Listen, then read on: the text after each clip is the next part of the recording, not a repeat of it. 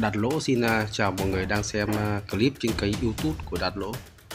Hôm nay à, Đạt Lỗ xin trân trọng giới thiệu một clip rất là vui, rất là nhộn, rất là thực tế, rất là nghề của những người anh em giới thiệu bia.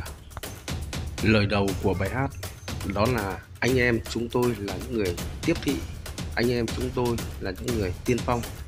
Và Đạt Lỗ xin mời tất cả mọi người lắng nghe tiếp đoạn clip tiếp theo mọi người nhé. Anh em chúng